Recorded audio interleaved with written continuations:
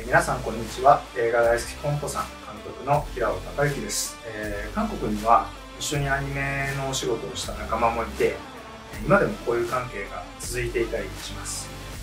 以前も、えー、僕の作品を映画祭で上映してくれたりと、まあ、とてもご縁のある国です。今回も、えー、韓国で上映されることをとても、えー、嬉しく思います。それではソウル復婚2022のステージで皆様にお会いできることを楽しみにしております。